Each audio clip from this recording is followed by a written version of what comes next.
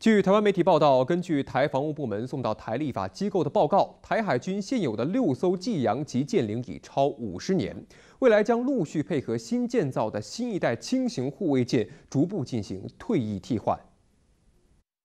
据报道，台防务部门表示，台海军将先造两艘新一代轻型护卫舰原型舰，后续再造十艘，总计建造十二艘，以替代台海军现有济阳级舰。新一代轻型护卫舰两艘原型舰建案，今年五月由台湾中信造船以九十点五亿元新台币得标。依据军方规划七成，防空型与反潜型将各造一艘，船厂必须在二零二六年十月底前完成交建。